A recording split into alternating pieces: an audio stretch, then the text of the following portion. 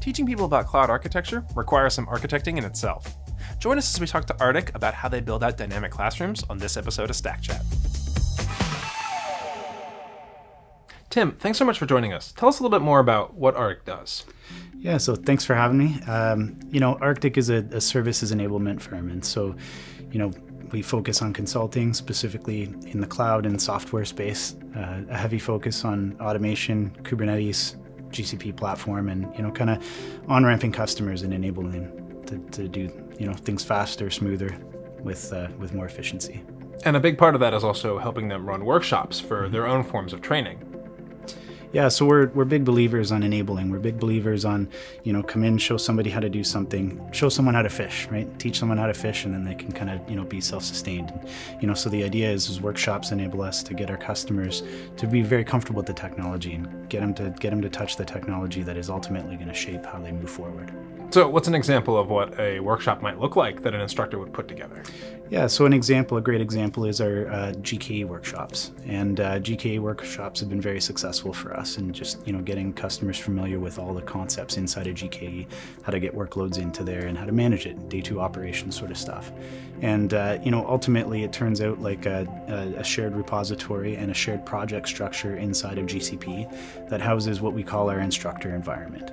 In that instructor environment, we onboard instructors into there. Uh, we onboard them into our Git repository, and uh, effectively they come prepared with a student list. And all it takes really to run a workshop is a student list and you know some students, obviously. And you know, kind of we we get them to build out a, a student list, pass it into Ansible, Ansible ultimately takes care of the templating function, taking that student list and effectively building out Terraform plans. Each student ends up with their, their own environment. So, you know, part of our design goal was making sure that as students were onboarded and as we were running the workshops, we weren't running into the traditional sort of, you know, student four accidentally logged into student one's environment as an example. And, you know, you end up with that collision stuff. And, you know, very much we wanted to, to provide an experience to our end users that allowed them to, to have their own environment. If they want to break it, they break it you know and if they want to you know test the boundaries of something that we don't have prescribed in a lab then you know we want to enable them to do that. We want to enable them to, to sort of find the edges on their own as well.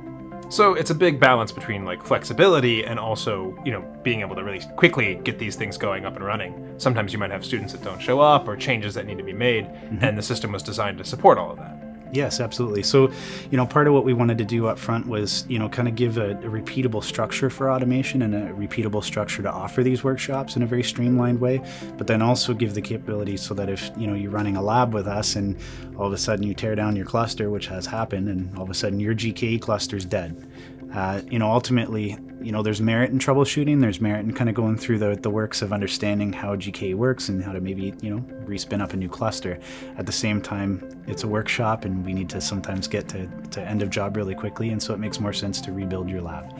Um, you know, that whole structure allows us to target only la your lab resources as an example and effectively just respin and, you know, let you get on your way. What does an example student infrastructure look like? Mm -hmm. Yeah, so the student infrastructure, you know, sort of similar to the instructor environment in that, you know, there's a GKE cluster inside of an ephemeral project. So the, you know, real difference is each and every one of the student projects is an ephemeral project itself. And then we would onboard each of those students through the automation with the right permissions inside of that project. So they've got the right cluster permissions, all that sort of stuff.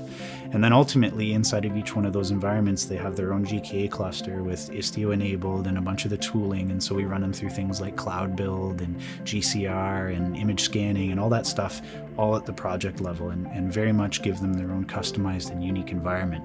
By controlling it all tightly with the lifecycle management inside of Terraform allows us to kind of you know make sure that we can spin it up quickly, modify and manage it as uh, as things break or as things need to change, but then also very much be able to, to tear it down with uh, you know very little effort.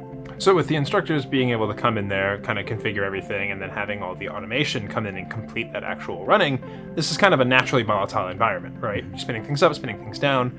Uh, I'm sure this isn't like the this wasn't just a build it once and it worked kind of solution. What would you say, like as you were tweaking it a long time, especially the automation portion?